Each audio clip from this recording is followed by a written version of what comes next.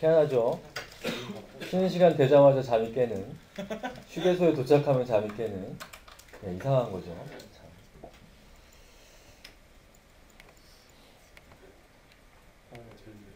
안. 졸려. 제가 조금 접근 방법을 바꾸겠습니다. 자, 아까 우리 수업 시작했던 거 연장선에서 살짝 끊고 다시 시작하는 거니까 자, 심기일전에서 잘 쫓아오세요.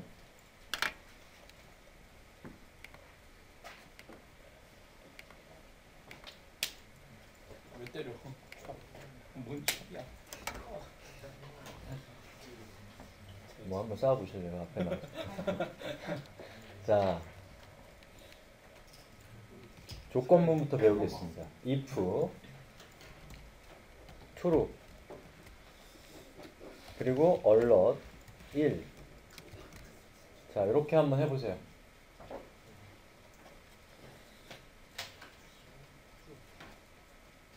그러면 결과가 어떻게 되나 한번 보십시오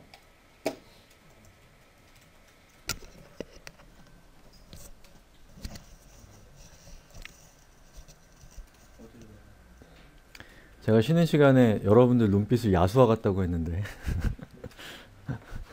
조는 야수여서 제가 살짝 난감했습니다. 근데 졸, 밥 먹고 나면 졸린 거 너무 당연하죠. 이 밥 먹는 게 얼, 얼마나 격렬한 운동인지 생각해 본 적 있으세요? 일단 밥 먹으러 가야 되죠. 밥 먹고 와야 되죠.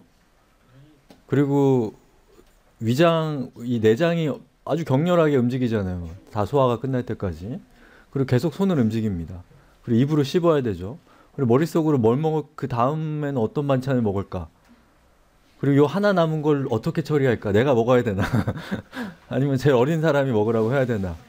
그런 수많은 아주 복잡한 사고 과정을 우리가 밥 먹을 때 하는데 이밥 먹는 게 에너지를 공급하는 행위다 보니까 우리가 관습적으로 걔는 운동이라고 생각하지 않게 되는 거죠. 예, 얼마나 격렬한 운동인데요. 예. 자, 엔터 치면 경고창이 뜹니다. 그쵸? 떠요? 왜 그렇게 그런 표정으로 다들 자 근데 여기다가 투로라고 할게요 아, 폴스 그리고 엔터 쳐보세요 경고창이 뜨나요? 아니요. 자 경고창이 뜨나요 안 뜨나요? 안 뜨죠 즉 if는 조건문이고 조건문이라는 것은 조건에 따라서 어떤 명령을 실행하기도 하고 실행하지 않기도 하는 겁니다. 자 그럼 제가 조금 더 복잡하게 해볼게요. 자, 이 상태 그대로에서 else S 아니면 저 이프가 아니면 자, 이 부분은 제가 입력했어요. 자, 이렇게 하면 어떻게 되는지 한번 확인해 보세요. 직접.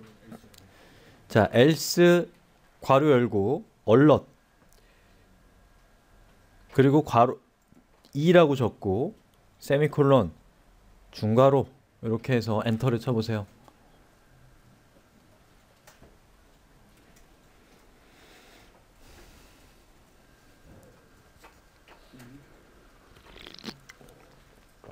세미클론이 무슨 의미예요? 그 이따가 예, 이따가 자연스럽게 알게 됩니다. 세미콜론은 명령이 끝났을 때 쓰는 거라고 말씀드렸죠. 우리 CSS 할 때도 한 줄로 쭉 쓸 때 세미콜론으로 구분을 해줬죠. 명령이 끝났다는 걸. 예, 이따가 다시 알게 됩니다. 자, 어때요? 결과가 뭐예요? 2가 출력되고 있어요? 자, 제가 한번 해볼게요. 자, 2가 출력됐습니다. 아 그리고 한 가지 팁은 입력하실 때 정직하게 다 입력하지 마시고 화살표 키 있죠? 위로 가는 화살표 키를 눌러보세요. 아래로 가는 키를 눌러보고 어때요? 히스토리가 남아 있습니다. 제가 이- 이렇게 해서 한 번에 눌러서 친 게 아니에요. 예? 이렇게 한 게 아닙니다. 예. 그 정도의 개발자는 제가 본 적은 없어요, 사실. 있을 수도 있겠지만 이 약간의 위상 차이를 이용해서 번에 누르는 예, 그러지는 못할 것 같아요. 어우. 자, 여기 있는 이 true를 이번에는 아, 폴스를 true로 바꾸고 한번 해보세요.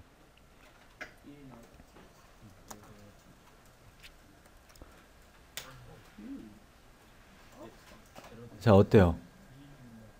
뭔지 알겠어요? 예. 자 엘스 아니면 맞잖아.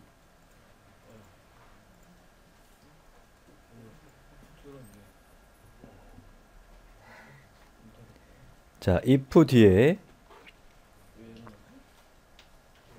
여기에는 불린 형식의 데이터 먹을 수 있습니다. 불린. 불린은 뭐로 어떤 데이터가 있다고 했어요? true, false 두 개 중에 두 개 중에 하나입니다. 그 어떤 값도 여기 오면 안 돼요. 아시겠죠? true, false 두 개만 올 수 있어요.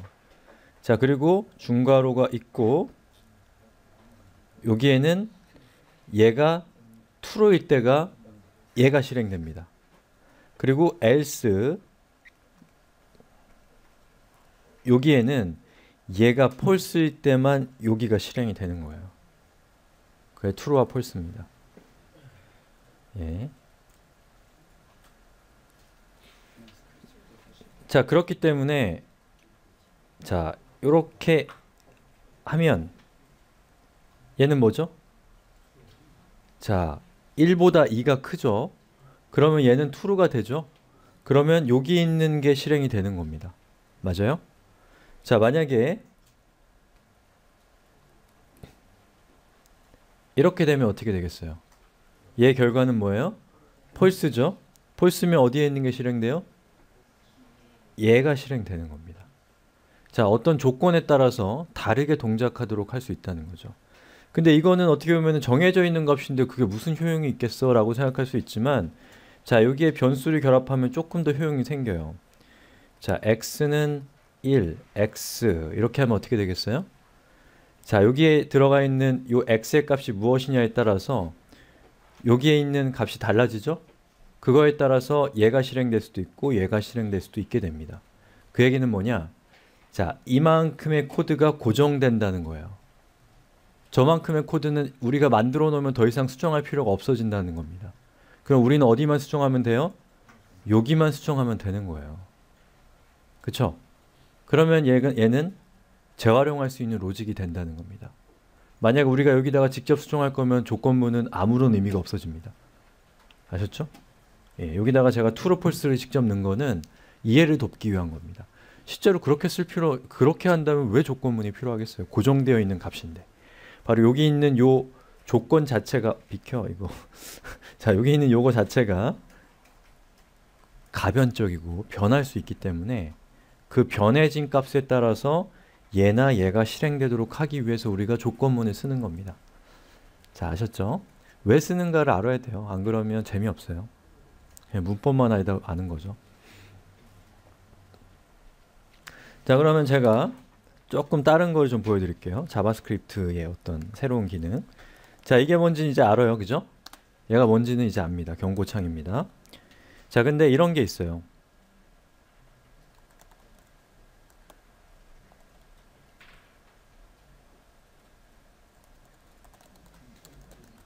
자, 이렇게 한번 해보세요.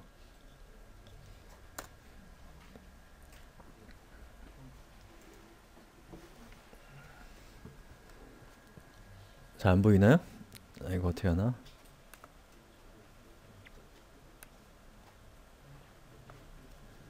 자, 보이죠?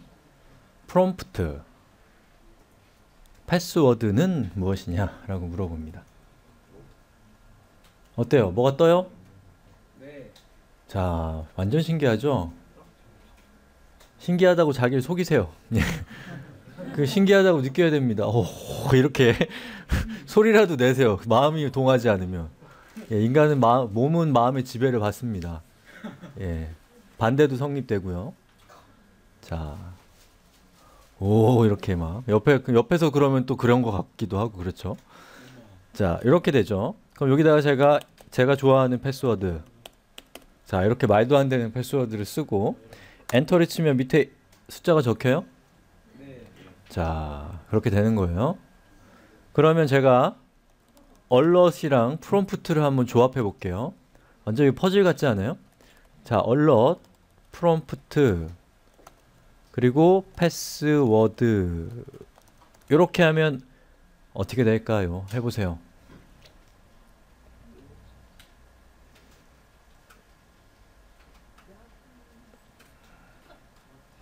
똑같다고요? 아직 너무 그 어, 속단하지 마세요. 속단. 똑같다고 속단하지 마세요. 일단 입력하세요.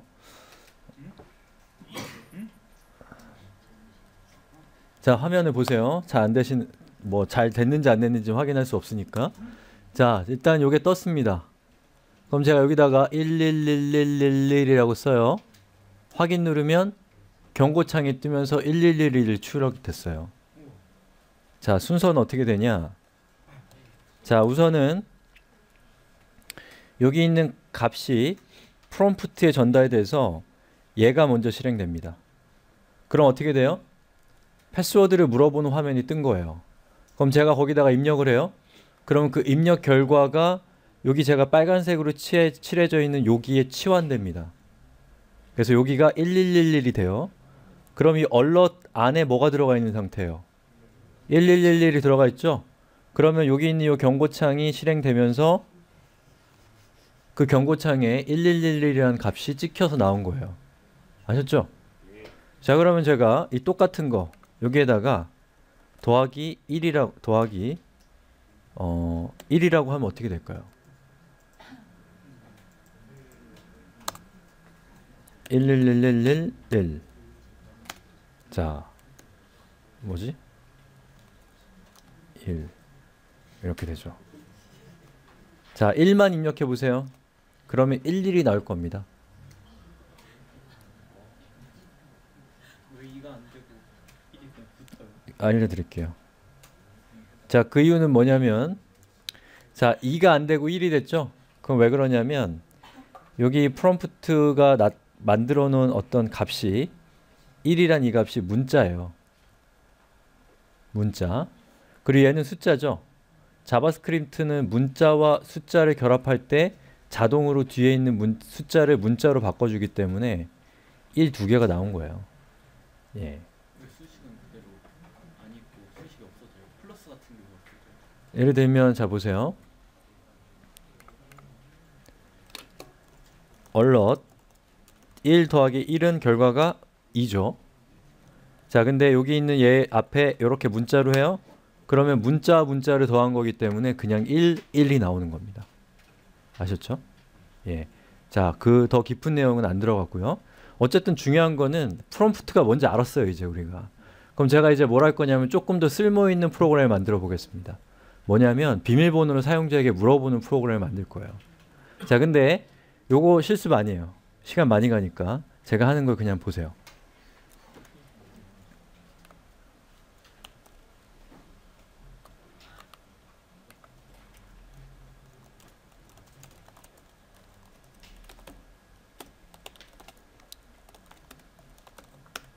자, 요러, 요렇게 HTML 코드를 만들었죠. 자, script tag를 작성합니다. 자, 됐죠? 여기까지 아시, 아시, 아는 내용이에요. 자, 그 다음에 제가 PASS라고 하는 변수에다가 아까 우리가 봤던 프롬프트 뭐야? 프롬프트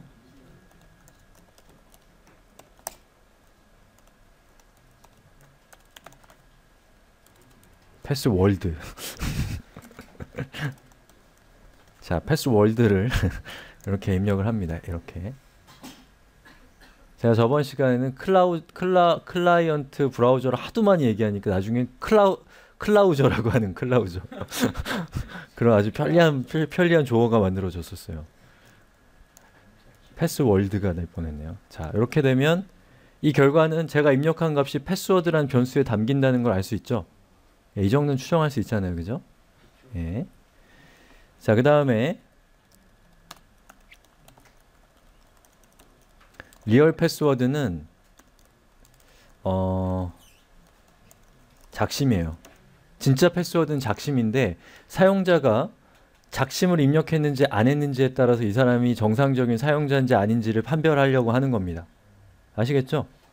자, 그러면 만일 if 그 다음에 자, 이 pass와 사용자가 입력한 pass와 real pass가 같으냐?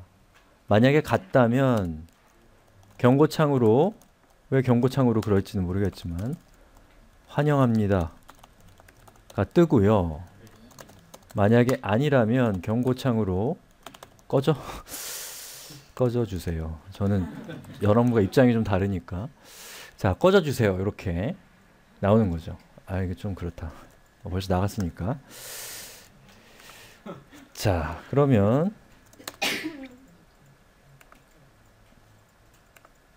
자 이게 딱 뜨죠? 그럼 제가 여기다가 뭐 이렇게 입력해요. 그러면 결과가 뭐겠어요? 이렇게 나오죠. 자 여기서 제가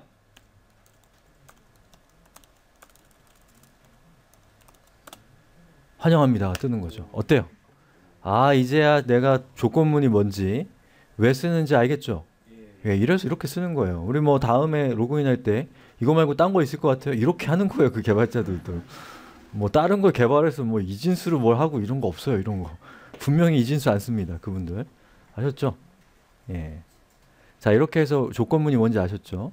비교가 뭔지도 알고. 예, 많은 걸 이제 이해할 수 있는 상태가 된 거 맞죠? 자, 다시 PT로 갑니다.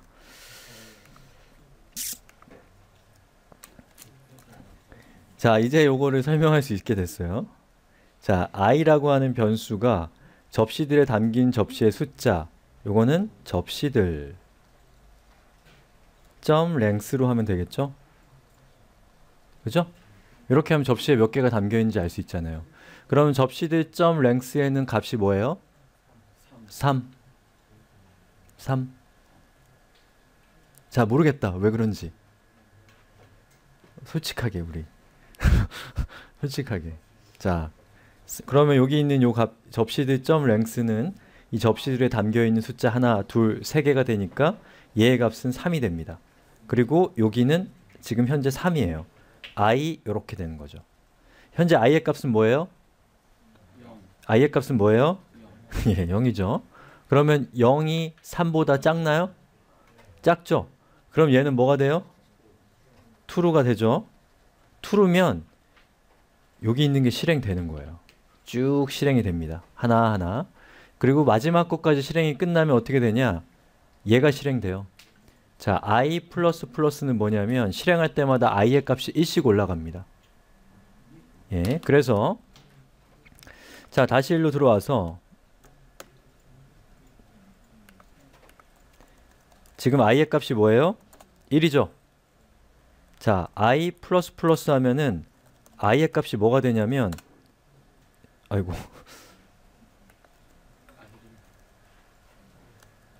i의 값 이거 저한테 무슨 억하심정이 있는 걸까요?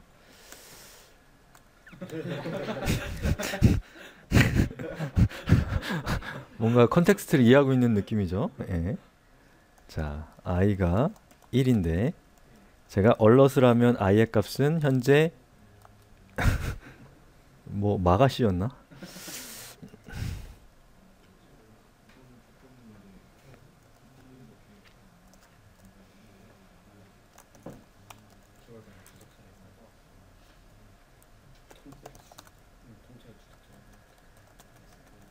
자, i의 값은 현재 0이에요. 그리고 얼럿을 한 번 하면 0이 출력되겠죠? 자, 그 상태에서 제가 ii 플러스를 했어요. 그리고 i를 하면 1이 나올 겁니다. 정말 그렇게 되는지 한번 볼게요.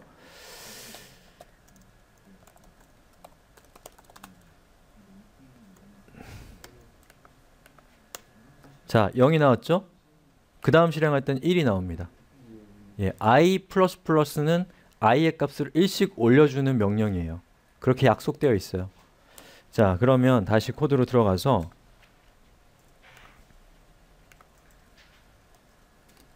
자, 얘가 실행될 때마다 1씩 올라가니까 얘가 한 번 실행되면 얘의 값은 i의 값은 뭐가 돼요? 0이었던 게 1이 되겠죠. 0이었던 게 1이 됩니다. 그 다음에 얘가 실행돼요. 그럼 현재 i의 값은 뭐예요? 1. 접시에 담기는 접시의 숫자는 3. 그 얘기는 뭐예요? True. 그러면 얘가 실행됩니다. 자, 끝까지 왔어요. 얘가 실행돼요. 그럼 i의 값은 1이었던 게 뭐가 돼요? 2가 되죠. i의 값은. 그러면 얘는 2의 3. 이건 뭐예요? true. 그러면 실행됩니다. 다시 얘가 실행이 되죠. 그럼 i의 값은 뭐가 돼요? 3. 얘는 3. 3. 얘가 얘는 폴스죠. 그러면 얘가 폴스가 됐기 때문에 반복문은 끝나고 요 뒤에 따라오는 어떤 명령이 있으면 걔가 실행되기 시작하는 거예요. 그래서 위에서부터 쭉 실행이 되다가 포문을 만나면 여기 있는 게 여기서 이렇게 순환합니다. 순환. 순환하다가 여기 있는 조건을 만족시키지 못하면 그때 비로소 내려가는 거예요. 아셨죠? 예, 옛날에 프로그래밍에서 옛날에는 반복문이 없었어요. 예, 옛날에 반복문이 없이 그냥 사람들이 01, 01 같은 기계어로 똑같은 일을 하던 거예요. 너무 힘드니까 이런 것들이 고안이 된 겁니다. 예. 없던 시절이 있었다고 생각해 보세요. 그걸로 만들 수 있는 게 뭐가 있겠어요. 그러니까 마이크로소프트 같은 회사가 생기는 거예요. 그 당시에. 예. 그리고 그런 회사들은 지금도 그렇게 할 수밖에 없어요. 예. 그래서 제가 아까 말씀드린 것처럼 컴퓨터가 아주 심연으로 내려가면 소프트웨어의 심연으로 내려가면 기계만 기계가 직접 이해할 수 있는 01, 000, 1 같은 이진수가 나온다고 말씀을 드렸죠. 그 초창기의 프로그래머들은 직접 그 기계어를 입력을 한 거예요. 근데 그걸 입력하다 보니까 너무 힘들어서 뭐 다른 그거를 좀 쉽게 할 수 있는 언어를 만들고 만들고 만들어서 C가 만들어지고 C로 PHP를 만들고 PHP로 뭘 만들고 뭐 이런 식으로 되는 거죠. PHP로 뭘 만들지는 않습니다. 예, 아무튼 자 여기까지 왔어요. 자 여기까지 오는데 이렇게 시간이 걸려요. 예, 어, 이게 얼마나 이게 복잡하고 집, 집약되어 있는 내용이 내용인지 참. 자, 그 다음에 자, 그래서 우리가 반복문과 조건문 이 양대 산맥을 넘으셨으면 이제 안심하셔도 돼요. 이제 좀 편안하게 생각하세요. 예, 제가 이제 더 이상 괴롭히지 않습니다. 예. 자, 닭의 접시라는 변수에다가 이렇게 하면 어떻게 되겠어요? 이거 되게 오묘한 건데. 자, 여기 있는 이 반복문이 돌아갈 때마다 i의 값은 어떻게 돼요? 0, 1, 2 이렇게 되죠? 자, 그러면 접시들이라고 하는 것 뒤에 대괄호가 오고 여기에 어떤 값이 오면 그건 무슨 뜻이라고 했어요? 여기에 담겨 있는 값을 가져오는 겁니다. 자, 접시들 이건 무슨 뜻이에요? 얘는 어떤 값이에요? 얘입니다. 자, 얘가 1이 되면 얘예요. 얘가 2가 되면 얘입니다. 자, 여기 있는 이 반복문이 순환할 때마다 안 보이네. 자, 여기 있는 i의 값은 0이었다가 1이었다가 2가 되죠. 그러면 걔가 될 때마다 이 안에 있는 값이 닭의 접시라는 변수에 담기게 돼요. 예, 닭의 접시라는 변수에 담기게 됩니다. 자, 그 다음 줄을 보시면 이제 의문이 풀릴 거예요. 자, 닭의 접 만약에 닭의 접시가 깨졌다. 더 복잡한 코드가 들어가겠지만 그냥 추상적으로 저렇게 생각하자는 거예요. 이 닭의 접시가 깨졌는지 안 깨졌는지를 조건문으로 확인해서 만약에 깨졌으면 버리고 안 깨졌으면 닦습니다. 그렇게 하면 우리가 접시를 싱크대 위에 담겨 있는 접시를 쭉 처리할 수 있게 돼요. 자, 이렇게 하면 이제 설거지를 한번 하는 방법이 끝났습니다. 근데 제가 아까 말씀드렸죠. 제가 여기 있는 분한테 처음에는 설거지하는 법을 일일이 알려드리지만 그 다음부터는 어떻게 해요? 설거지 해주세요. 하면 설거지 해주잖아요. 그죠? 자, 그거에 해당되는 게 뭐냐면 함수입니다. 함수. 펑션. 함수. 여러분들 학교 다닐 때 함수에 질린 분들 많죠? 수학 시간에. 자, 펑션이라는 게 나옵니다. 함수. 자, 함수.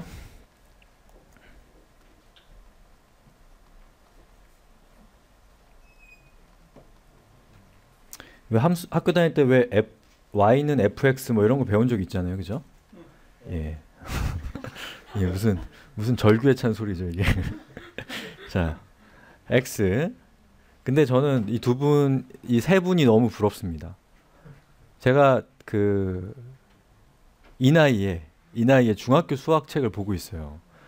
그 제가 저한테 물어보시는 질문 중에 되게 많은 게 사- 살짝 삼천포로 빠져서 함수가 나왔으니까 수학을 못하면 프로그래밍을 못하나요? 라는 질문이 있어요. 궁금하시죠?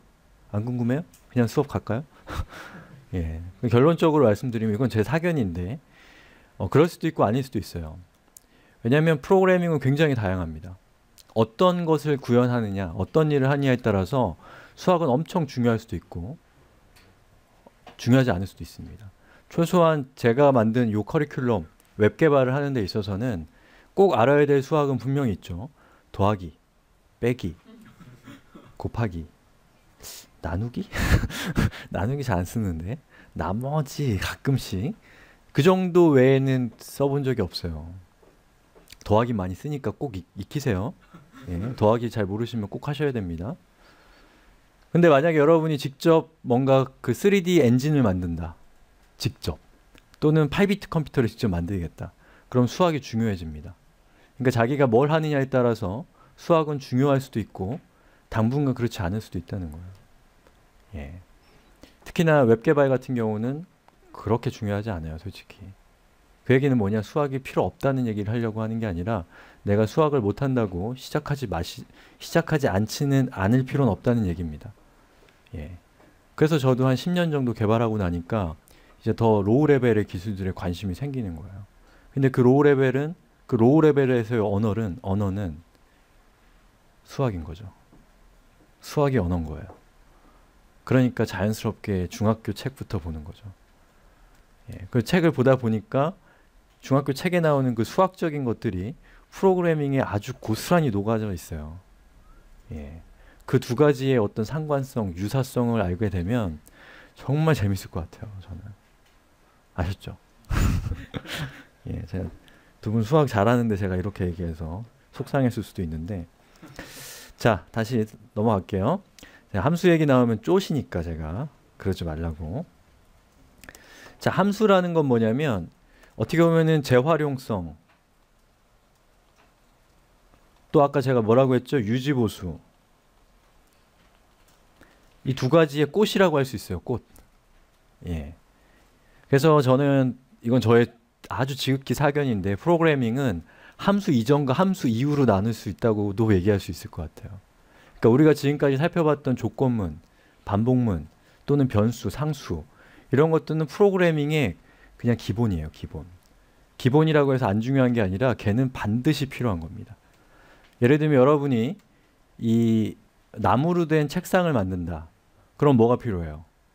나무 뭐 나무는 필요하겠지만 톱질도 해야 되고 그죠? 망치질도 해야 되죠. 그거 해당되는 거예요. 근데 여러분이 그 나무로 목적 업무를 만든다고 생각해 보세요.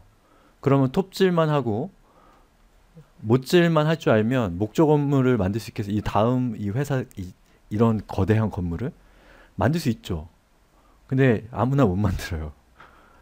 왜냐하면 그런 거대한 걸 만들기 위해서는 다양한 설계, 또 걔가 문제가 없는지를 검증하는 기법 그런 것들이 사, 필요하기 시작, 시작하는데 바로 그러한 부분들이 어떻게 보면 함수부터 여러분들이 이제 쭉 배워나가는 것들이라고 할 수 있어요. 그러니까 함수 이전까지 배우셨으면 이제 프로그래밍을 배우는데 기본적인 무기는 다 갖춘 거예요. 그러니까 뿌듯해 하실 필요가 있고 이제 그 다음부터 배우는 것들은 뭔가를 거대하게 만드는데 또 그 거대해진 것이 문제없이 잘 돌아가게 하는 데 있어서 필요한 매니지먼트와 관련된 것들이라고 생각하셔도 될 것 같아요. 제 생각에. 그리고 그 출발점에 함수가 있는 겁니다. 그 다음에 나중에 좀 더 깊게 배우시면 이제 객체지향 막 이런 골아픈 것들이 나오는데 그런 것들도 본질적으로는 지금 말씀드리는 이런 매니지먼트 코드를 잘 관리하기 위한 수단으로서 고안된 것들이라고 생각하셔야 돼요. 예, 철학적으로 생각하지 마시고 객체지향 뭔가 철학적인 느낌 들지 않아요? 객체란 말 쓰지도 않는데 예. 자 그래서 재활용성과 유지보수의 꽃이다 라는 겁니다. 예, 강력해진다는 거예요. 근데 얘가 없어도 프로그래밍 할 수 있다라는 얘기기도 해요. 자, 함수는 어떤 문법적인 문법을 갖고 있냐면 자, 일단 함수는 정의가 있고 호출이 있습니다. 정의, 정의부터 해볼게요. 자, 펑션이 함수란 뜻이에요. 펑션 a 함수의 이름입니다. 이름. 자, 중괄호 괄호 열고 괄호 닫고 그리고 여기에다가 코드를 짜요.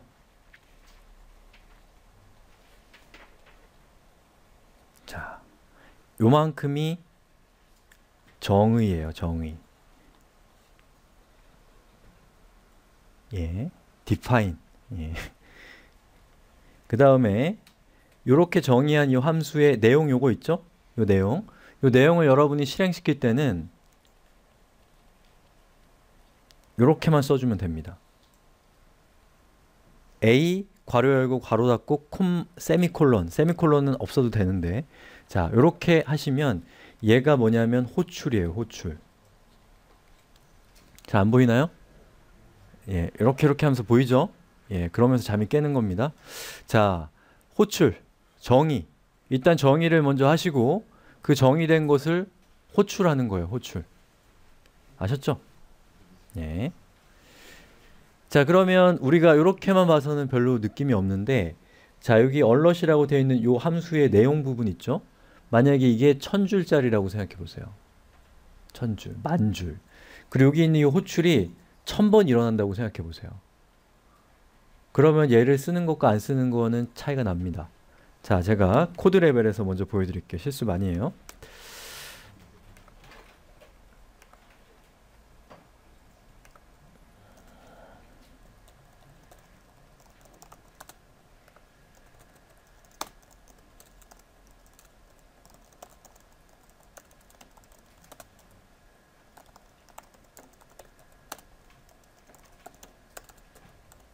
아까 본 거랑 똑같죠?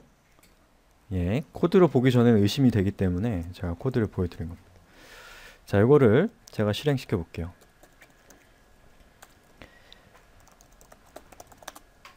일이 나왔어요. 그쵸?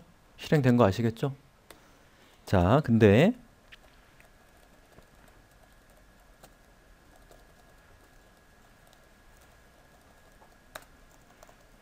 x는 1 그리고 x 는 x 플러스 1 이게 뭔지 아시겠어요? x에 1이 들어갔죠? 실행되면 그쵸? x에 1이 들어갔어요 그 다음에 얘는 1로 가서 얘가 1이 되죠? 얘를 더하면 2가 되죠? 예, 그거를 화면에 출력한다 경고창으로 출력한다는 예제입니다 자, 그거를 제가 이렇게 썼어요 이렇게 이렇게 길죠? 길잖아요. 근데 만약에 제가 함수를 이렇게 정의했을 때는 자, 얘를 실행시키면 85가 뜹니다. 근데 함수를 안 했다면 어떻게 해야 되겠어요? 자, 작아도 상관없죠. 우리 모양만 보이면 되니까. 어이구, 화면 넘어가네. 함수가 없으면 우리는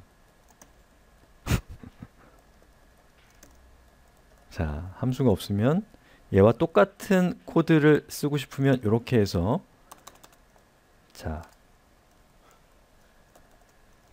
논 아이고 함수 없이 쓰려면 이렇게 해야 된다는 거죠.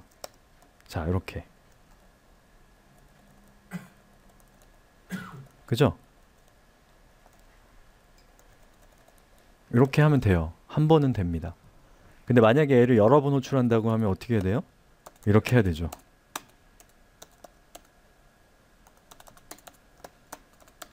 계속 할까요? 멈춰 이래 이렇게 얘기해 주세요.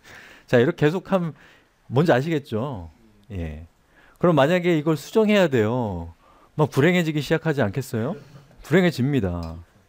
그리고 함수가 없으면 수정 안 된다고 얘기할 거예요. 그 얘기는 뭐냐? 개발 행위를 굉장히 보수적으로 만들게 됩니다. 예, 개발이 보수적으로 가는 거예요. 개발자들 보수적이죠? 개발자 아닌 분들한테 물어보는 거예요. 예. 개발자들은 우리는 보수적이지 않다고 생각하죠. 근데 개발자 아닌 분들은 이제 개발자 보수적이라고 생각하는 거죠. 그래서 이런 도구들을 잘 적용해야지 개발을 자신감 있게 할 수 있는 거예요. 예. 함수가 있기 때문에 우리는 여기 있는 함수의 정의 부분만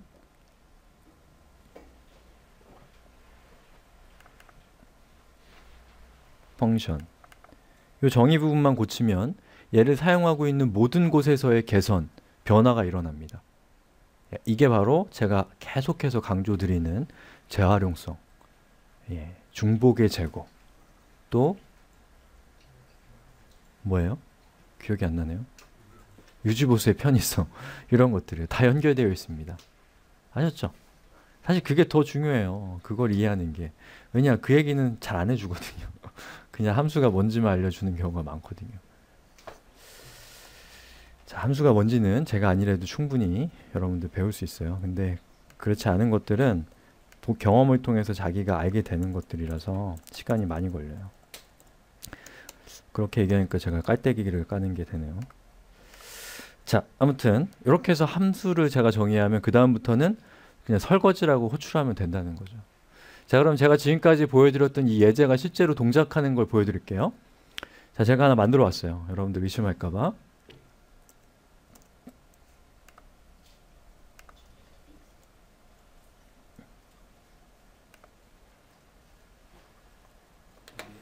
자, 이거 제가 만든 겁니다.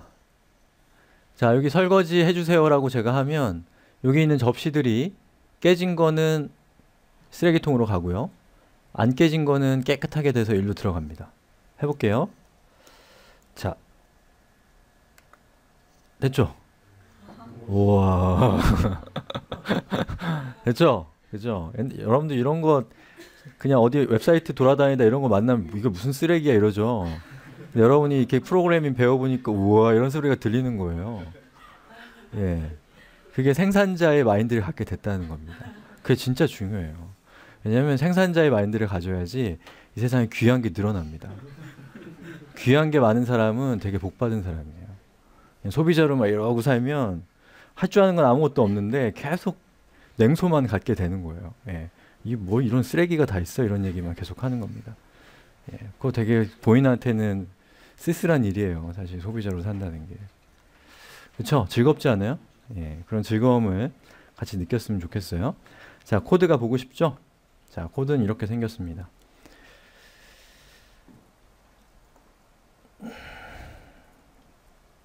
자, 여기 보시는 것처럼 HTML 코드가 있고요.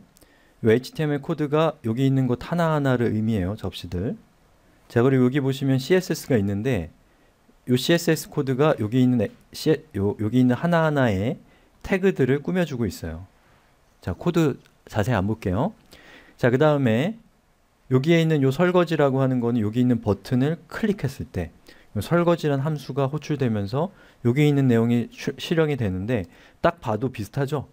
우리가 아까 짜, 짰던 코드랑 조금 다르긴 하지만 그건 당연해요. 이건 구체적인 코드고 아까 그거는 의, 모조 코드이기 때문에 실제로 동작하는 코드가 아니기 때문에 아시겠죠? 대충 비슷하잖아요. 그죠? 그 정도면 돼요. 자 여기까지 해서 질문 있나요? 자 그러면 나머지 PT 내용으로 쭉 갑니다. 자 그래서 이제부터 조금 다른 얘기를 할 거예요. 자 UI가 뭔가요? UI UI는 유저 인터페이스죠. 아마 이 IT 관련되어 있는 분들은 너무나 익숙한 얘기고 모르시는 분들은 처음 듣는 얘기일 수도 있습니다. 자 여기 있는 아이폰 이거 굉장히 거대한 시스템이에요 사실은. 그 얘기를 할 거예요. 자 이 거대한 시스템과 우리 인간 인간도 사실 거대해요. 훨씬 거대합니다 얘보다. 자이 이 시스템을 우리가 제어하기 위해서는 버튼이 필요하고 여기 있는 버튼들이 있죠? 하드웨어적인 버튼입니다. 그리고 얘를 켜보면 이렇게 가상화된 버튼들이 있어요 이것도 마찬가지입니다 자 이런 것들이 바로 UI잖아요 그죠 우리 이 UI를 통해서 이 시스템을 제어합니다. 그 제어하는 그 중간에 있는 전달자, 그 접점에 해당되는 되게 철학적인 구역, 예, 그게 인터페이스예요. 인터페이스. 다 아시죠? 예, 그게 유저 인터페이스입니다. 유저와 시스템이 커뮤니케이션하는 채널, 예, 그게 UI죠. 자, 그 다음에 API라는 말 왠지 좀 비슷한 느낌 아니에요? 같은 듯 다른 듯, 막 이렇지 않아요? 자, UI는 user interface 약자입니다. 자, API는 application programming의 interface 아 말해야 이래 application programming interface의 약자입니다 자 그러면 이 두 개의 말 사이에 유사성도 있고 차이점도 있어요 자 유사점은 뭔가요? 자, 이 부분이 같습니다. 똑같이 인터페이스입니다. 자, 그 다음에 차이점은 한쪽 하나는 유저고 아이고. 자 하나는 하나는 유저고요. 하나는 애플리케이션 프로그래밍 인터페이스예요. 자 유저가 뭔지는 알았고 이제 이걸 알아봅시다. 아셨죠? 자. 여러분들 이제 너무 익숙한 너무나 익숙한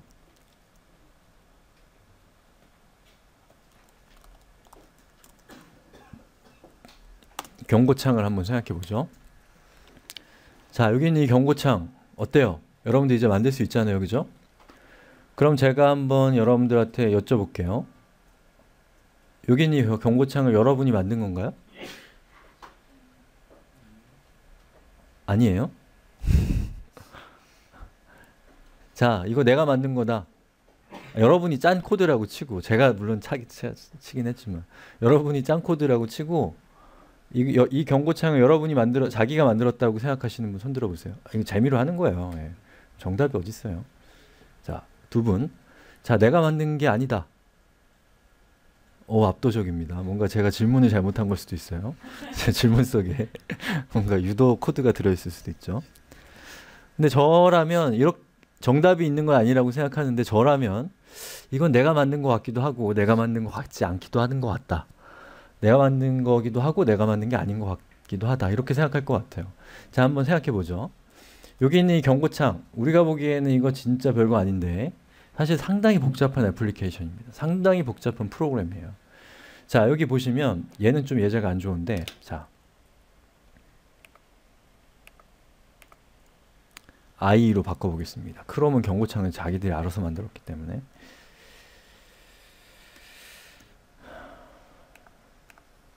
세션 복원이 뜨죠. 뭔가 부끄러운 자기 모습을 계속 보여줘요. 얘는 이런 공식 석상에서도 자, 자 멈춰.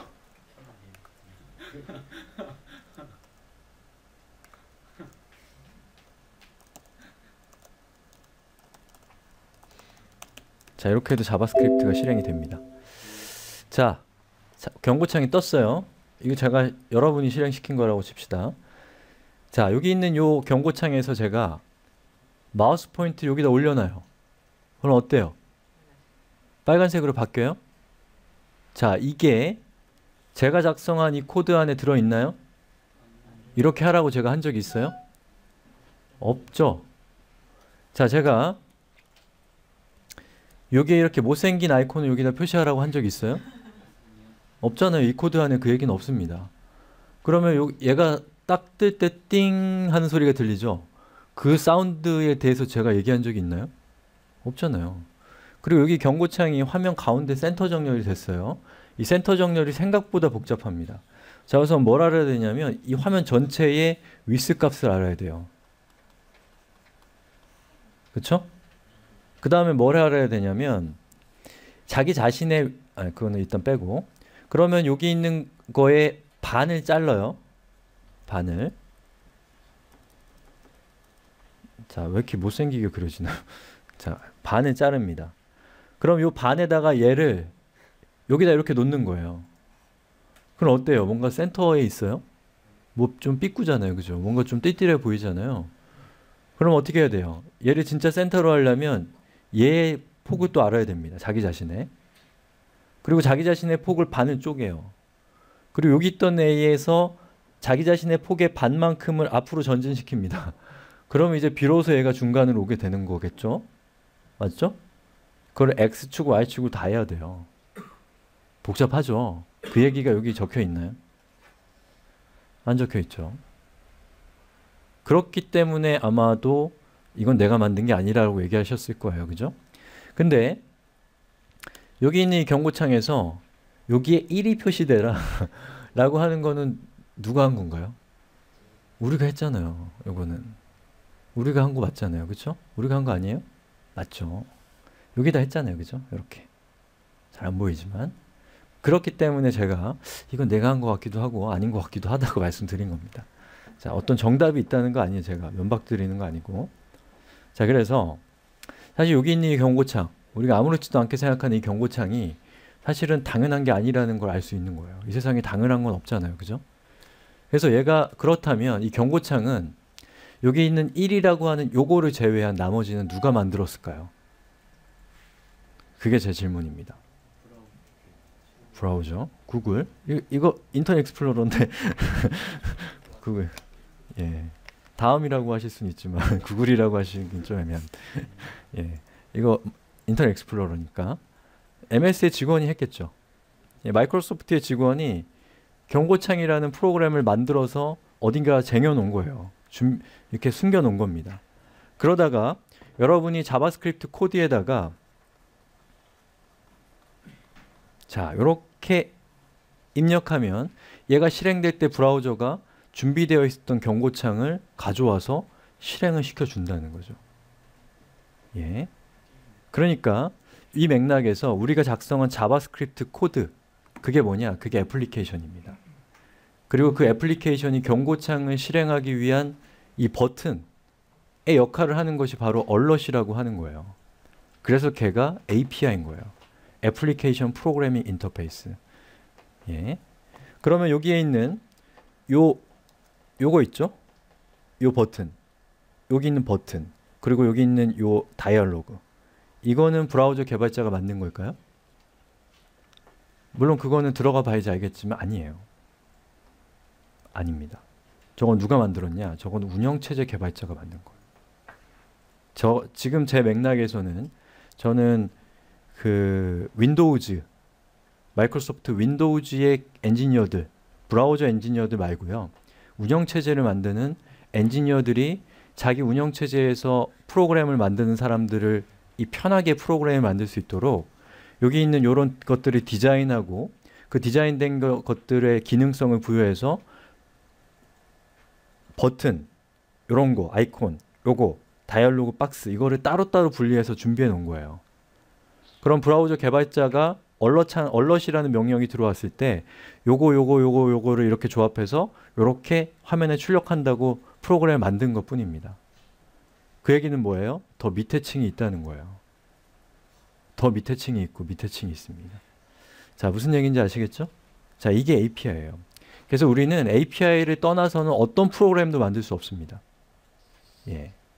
만약에 우리가 JavaScript로 현재 시간을 표시할 수 있어요. 근데 API를 통하지 않고는 우리는 현재 시간을 알아낼 수 있는 방법이 존재하지 않습니다. 예.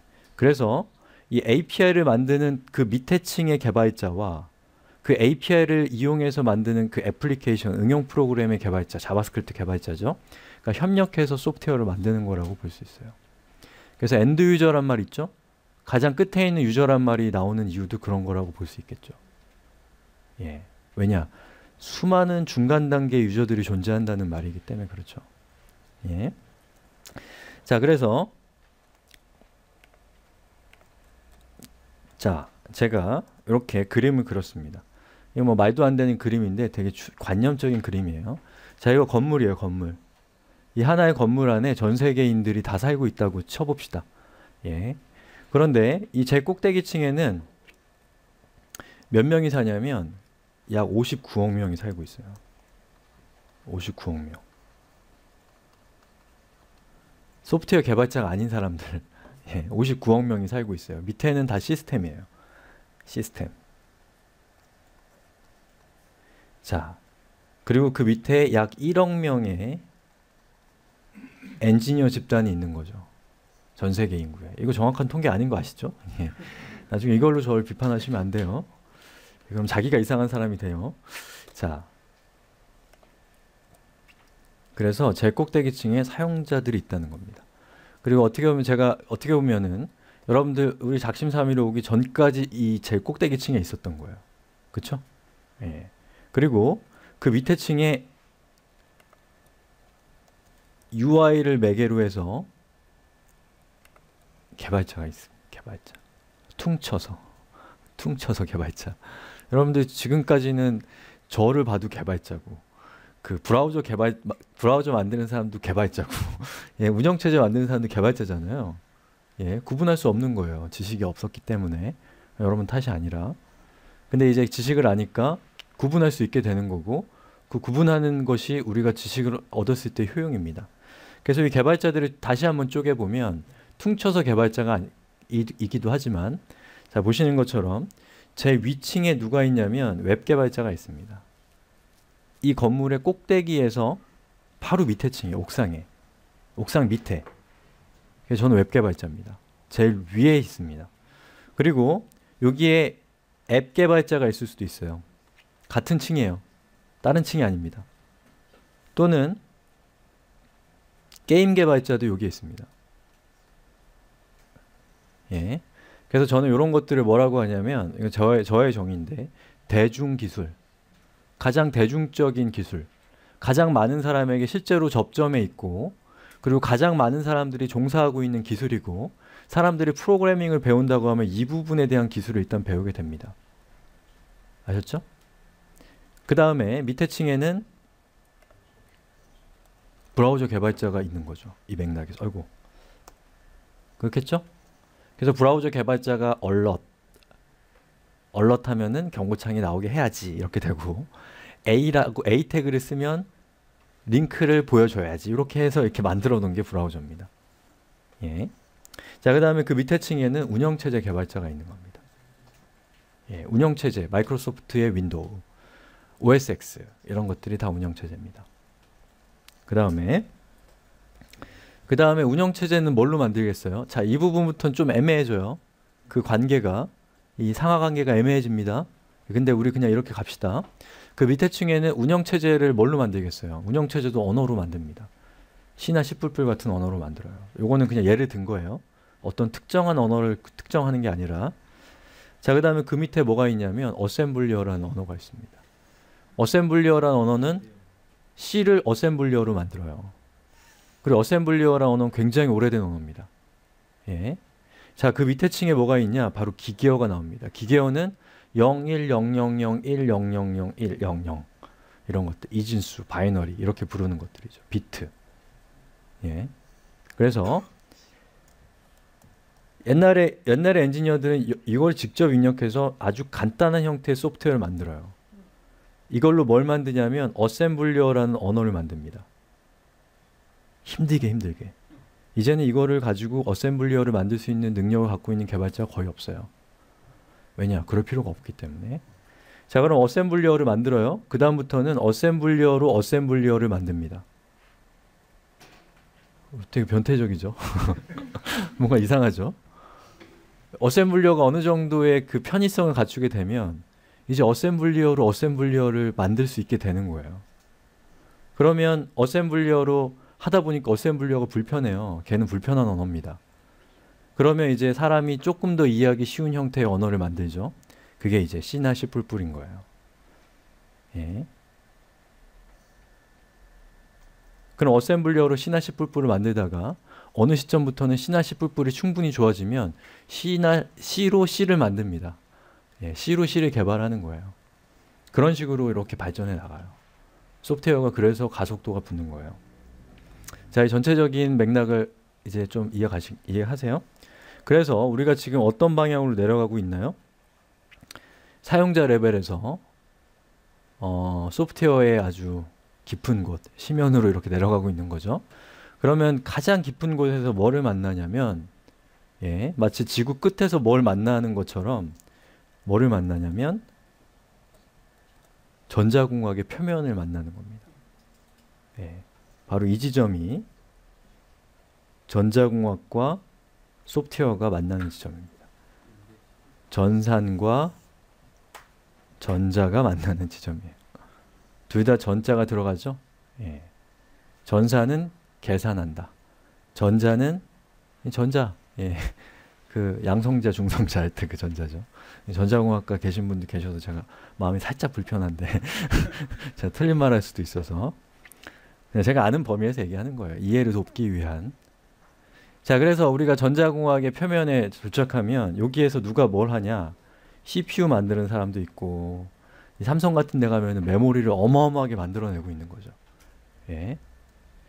그리고 걔들은 01010 요것만 이해할 수 있는 세계예요. 거, 거기는 소프트웨어가 존재하지 않고. 예. 자 그러면 전자공학에서 더 심연으로 내려가면 뭐가 나오겠어요? 전기공학이 나오겠죠. 예. 그리고 실제로 역사는 이렇게 흘러갔습니다. 원래 원래는 그 밑에는 뭐가 있겠어요? 물리학이 나오겠죠. 그래서 물리학자들 일군의 물리학자들이 이 전자라고 하는 전기라는 현상을 발견한 거죠. 그리고 아주 오랫동안 전기가 어떤 전기가 전자공학이 될 수 있다는 사실을 몰랐어요. 아주 오랫동안은 전기는 동력으로만 활용이 됐던 거죠. 그런데 어떤 어떤 수학자가 어떤 논리 체계를 만들었고 그 논리 체계가 이용해서 이 어떤 전기라고 하는 게 신호, 약속 이런 걸로 사용될 수 있다는 거를 이제 인류가 발견하게 되면서 이 전자공학이라는 게 나타난 거죠. 근데 전자공학을 더 편하게 하려다 보니까 이제 소프트웨어가 나타나는 이런 이런 프로세스를 겪게 된다는 겁니다. 그래서 지금 제가 이렇게 설명드린 이걸 통해서 이 세계가 되게 거대하다는 느낌이 들지 않아요? 뭔가 아이폰 하나 아이폰도 예사롭게 보이지 않지 않아요? 이 안에 그게 다 들어있는 거예요. 어마어마한 거죠. 예. 자, 전체적인 맥락을 보여드리기 위한 그림이었습니다. 자, 그렇게 해서 제가 그 소프트웨어 프로그래밍에 대한 기본적인 트레이닝을 여러분들께 해드렸고, 그리고 소프트웨어 넘어서서 우리가 전체적인 어떤 맥락에서 우리가 현재 어떤 위치에 있는가 라고 하는 메시지를 드리기 위해서 이런 그림도 막 그려본 거예요. 예. 재밌지 않아요? 이렇게 하니까 뭔가 좀 숙연해지고 우리 정말 거대한 세계 위에 있다는 느낌 들지 않아요? 이 진짜 문명의 결정체입니다. 예, 한 사람이 만든 게 아니에요. 누구 스티브 잡스가 만든 게 절대 아닙니다. 이거 그렇죠? 예. 자 그렇게 해서 일단 여기까지 하고 우리 10분 쉬었다가 다시 다음 수업으로 넘어가겠습니다.